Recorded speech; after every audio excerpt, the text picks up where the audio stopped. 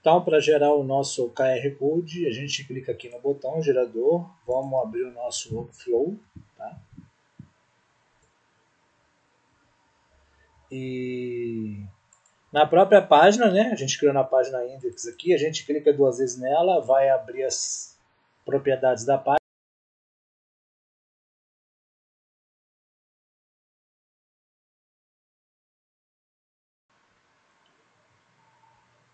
Olá a todos, eu sou o Rincão, do canal Rincão Informática. Sejam todos bem-vindos a mais uma aula do nosso canal. Essa aula de hoje é uma aula dinâmica e rápida, e é ela da nossa playlist de introdução ao Bobo das funções primárias de programação no code e low code da nossa plataforma Bubble. Nessa aula de hoje nós vamos aprender a criar um QR Code e a indicar uma função, a setar uma função nesse QR Code. Tá? Porque você pode fazer qualquer coisa relacionada a aplicações web de função em cima desse QR Code. Nós vamos usar de exemplo hoje o redirecionamento de uma URL. Quando a gente lê o QR Code, ele vai direcionar para a URL, como um exemplo da função da, da aplicação do plugin. Tá? Se você chegou nesse canal agora através dessa aula, eu quero te pedir para você aproveitar, fazer inscrição no nosso canal, ativar o sino das notificações para estar sempre inteirado das novas aulas que tem. Nós temos algumas playlists no canal, playlist de Excel para processo seletivo e ambiente empresarial, playlist de plataforma EAD, playlist de informática para concursos, é uma playlist nova que a gente começou, a gente vai ter até aula nova hoje também playlist de PDV Universal e nós estaremos criando os novos, novos conteúdos também esse mês ainda, tá?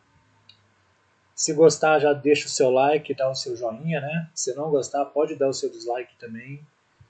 Compartilhe o nosso conteúdo, tá? O nosso intuito é levar conhecimento gratuito a mais pessoas e de forma gratuita, tá? A gente tem o propósito de ter tecnologia gratuita ao alcance de todos.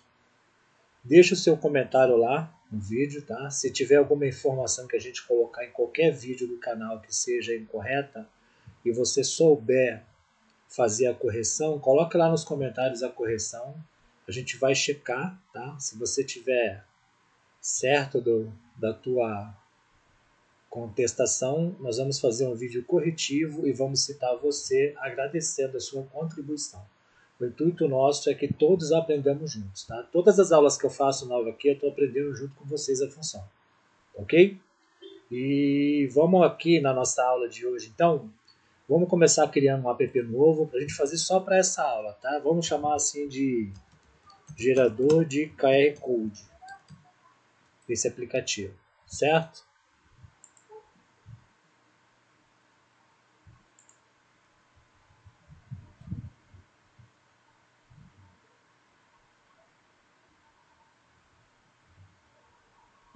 Está criando a nossa aplicação nova, né? Vamos, vou skip application assistant, vou pular o assistente de inicialização, que a gente já sabe, né? Aqui na nossa, no nosso design, vamos colocar um grupo aqui, ó. Cadê grupo?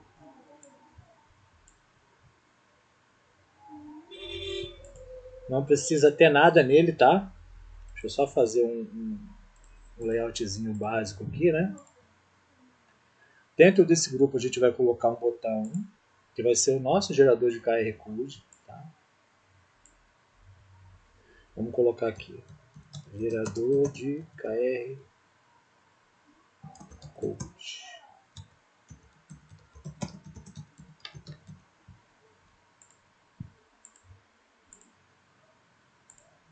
Deixa eu ver aqui, tem condicional, a cor dele gosto muito dessa cor, deixa eu ver como é que ficou. Tá bom, vamos colocar um elemento HTML aqui que vai ser o nosso QR Code, tá? O plugin que a gente vai utilizar, ele gera um QR Code no tamanho de 200 por 200 pixels, então já vamos deixar isso aqui já com essas medidas, tá? 200 por 200. O nosso HTML, certo? Vamos colocar aqui também um bordas nele, né?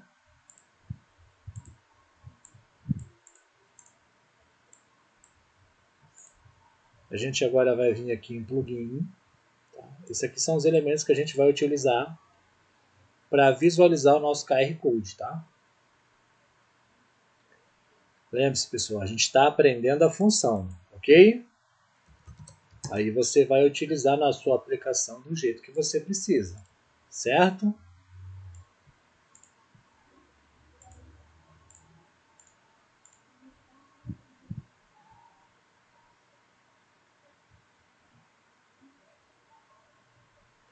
Tá, vamos lá.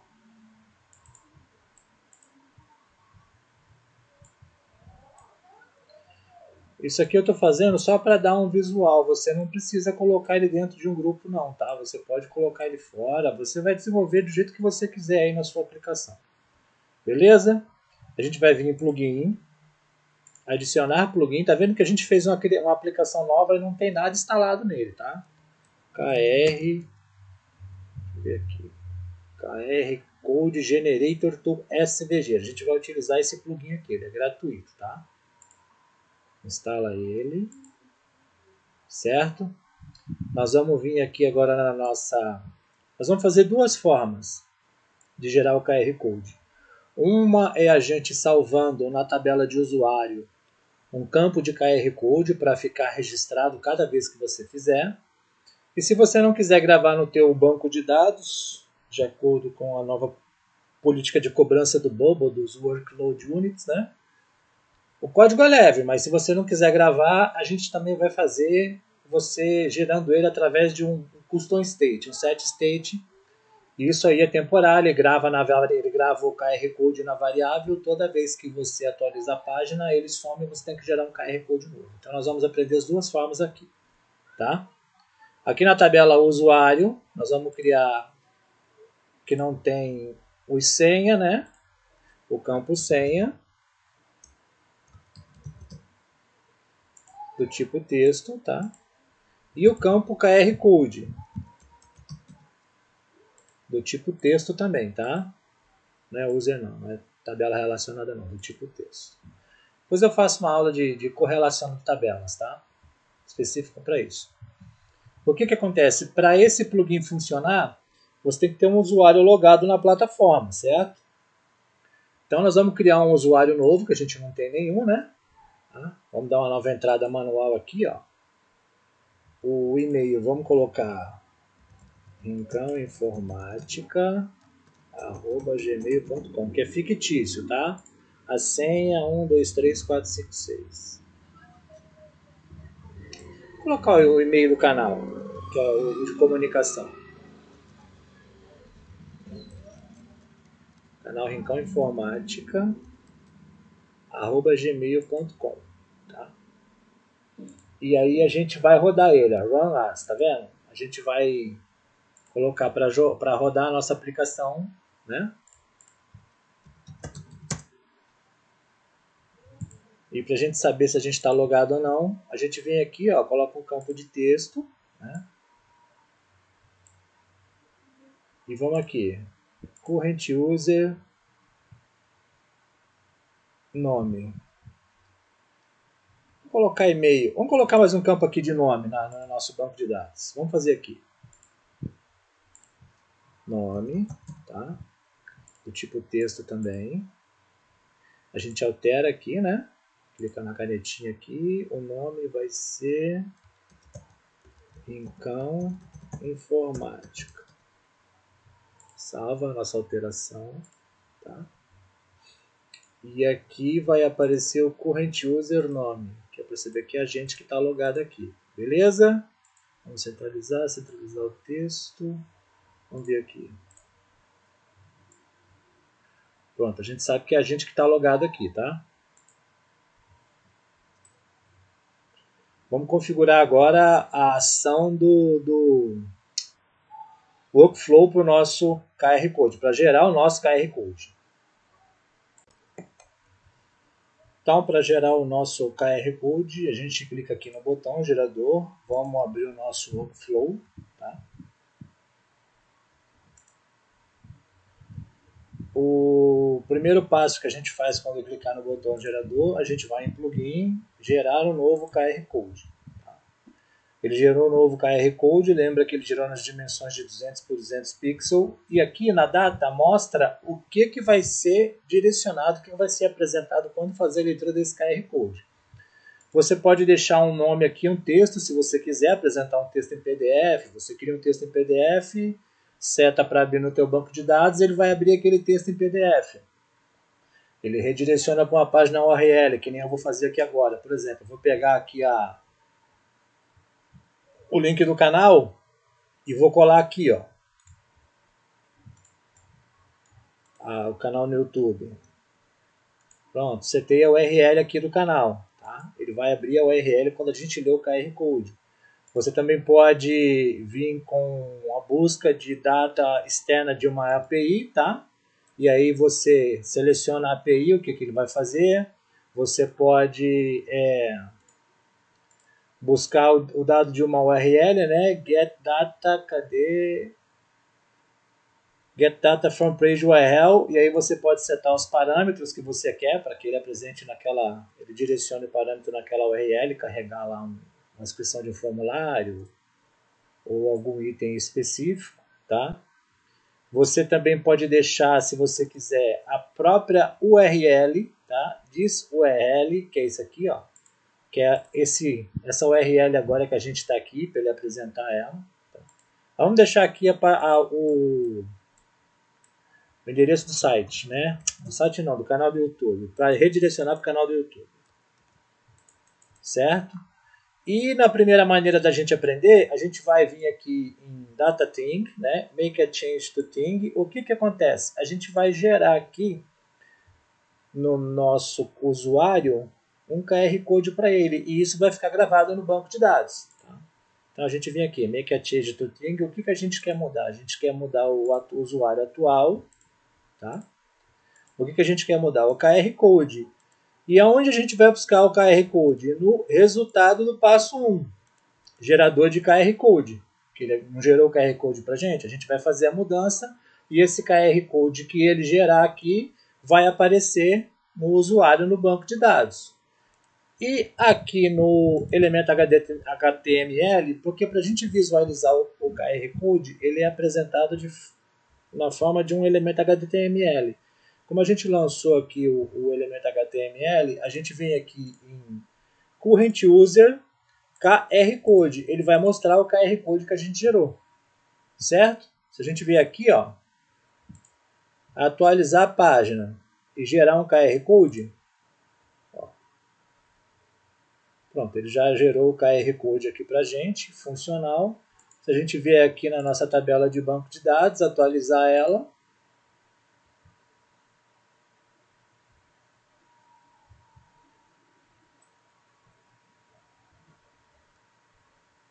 já está aqui o QR Code. Ele é um código muito leve, tá? Mas como eu expliquei, se você não quiser salvar no teu banco de dados, é, a gente vai fazer agora a segunda forma, que é através do Custom State, tá? Vamos testar aqui esse QR Code com o aparelho celular para a gente ver ele funcionando.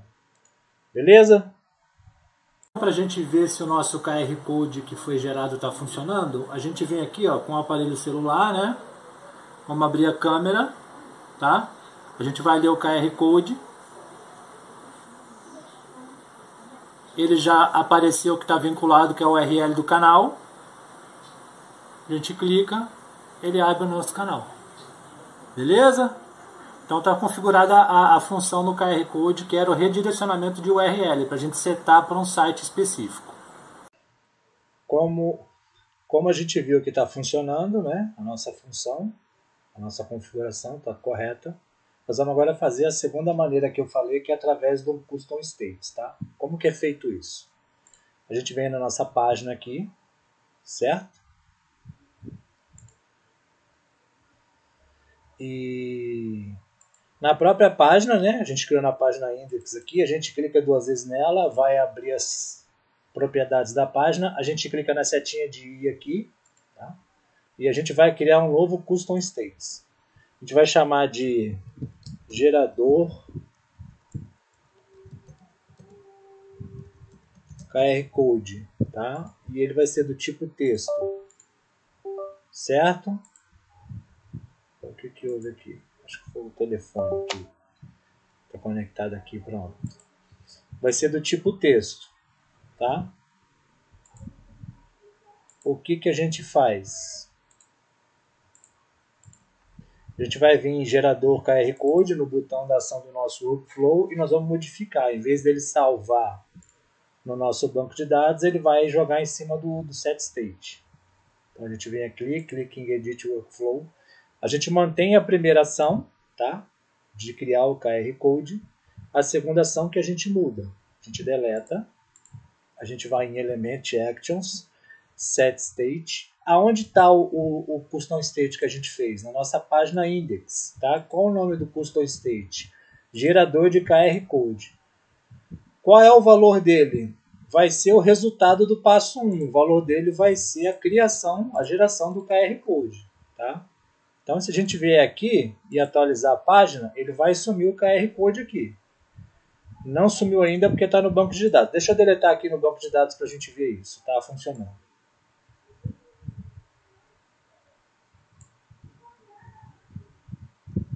vamos salvar, né? Então a gente vê que o nosso usuário não tem mais o QR Code gerado. Se a gente vê aqui, ele já assumiu que ele atualizou. Se a gente gerar um QR Code novo, ó, através do set state, faltou uma coisa aqui, pessoal. A gente gerou o QR Code, só que a gente não setou aqui no HTML. Por enquanto ele está bus mandando buscar no banco de dados QR Code. A gente vai mudar para o index, tá? gerador QR Code. Então tem que aparecer agora. A gente mudou o nosso elemento HTML para ele apresentar o que está sendo feito através do nosso custom states. Vamos ver se veio agora. Vamos gerar. Gerou o QR Code, tá? Ele não está salvando aqui no banco de dados, ele está salvando na variável do, do. Se eu atualizar a página aqui, ó, não tem nada, tá? Ele vai atualizar a nossa aplicação e continua vazio, não está mais salvando no banco de dados. Ele está salvando na variável do custom states. Deixa eu atualizar aqui. Certo? A gente vier aqui, ó, se a gente atualizar a nossa página, como é temporário, ele some. A gente gera novo custom states, ele gerou um novo QR Code. Ok? Então, com essa etapa, a gente termina a nossa aula de hoje. Tá? Essa foi uma aula dinâmica e rápida que a gente aprendeu a configurar um QR Code para mais variadas funções de etapas da nossa construção da nossa aplicação web.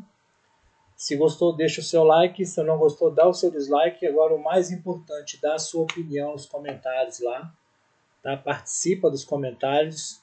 Incentiva a gente a continuar a trazer mais conteúdo gratuito e tecnologia gratuita ao alcance de todos. Se não for inscrito, aproveita para se inscrever e ativar o sino das notificações para não perder nenhum conteúdo novo. Tá? Compartilhe o nosso conteúdo com as pessoas. Muito obrigado aí por mais uma aula, pessoal, junto comigo e até a próxima aula. Um grande abraço, pessoal. Tchau.